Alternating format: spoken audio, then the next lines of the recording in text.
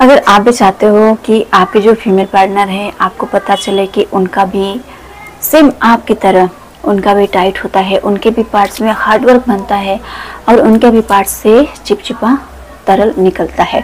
अगर आपको देखना है, समझना है तो कुछ छोटे छोटे पॉइंट्स आपके साथ शेयर करने जा रहे हूँ, जिसे आप नोटिस करोगे। तो आपको बहुत इजीली तरीके से मालूम पड़ेगा कि ये पॉइंट क्या है और कैसे पता करें कि आपके फीमेल पार्टनर के साथ ये सेम हो रहा है। और उसे देखने के बाद आप अगर उस समय, अगर आप फ़िज़िकल होना चाहोगे तो बहुत ही कम समय में और बहुत ही अच्छे से अपने पार्टनर को आप सर्टिफाई भी कर पाओ तो वो कौन सा पॉइंट है, वो कौन सा समय है, जिसे आपको नोटिस करना है सारी इन्फॉर्मेशन इस वीडियो में लेगी थोड़ा सा धीरज रखो, ऐसा नहीं है।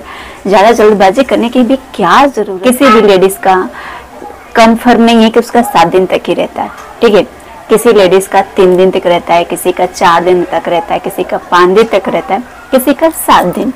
बाई बे आप अपने तरीके से मान के चलो सात दिन। ओके सात दिन के बाद आप आठवें दिन से ट्राई करना चालू कर दो। आप देखोगे तो उसके अंदर कुछ चेंज उसके व्यवहार में, उसके बर्ताव में कुछ चेंजेस टाइम पीरियड्स के बाद उसके स्वभाव जब बदल जाते हैं तो उसके हार्मोन्स लेवल बढ़ जाते हैं, वहाँ पे उसको रिलेशन में, उसके उसके प्रति उसको आकर्षण बढ़ जाता अब बात आती है उसके पार्ट्स को हम कैसे देखें, कैसे समझें कि उसका भी मतलब खड़ा हो रहा है।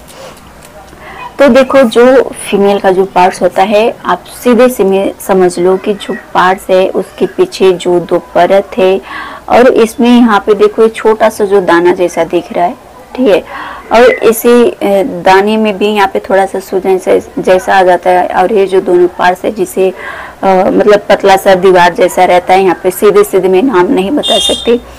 तो यहाँ पर जो रहता है इसमें भी सूजन आ जाता है। बाकी के जो पार्ट्स होते हैं उसमें भी हल्का हल्का जो जो बाकी के जो पार्ट्स होते हैं वो भी काफ़ी ज़्यादा बड़े आपको दिखेंगे उसमें भी सूजन थोड़ा फैल जाता है।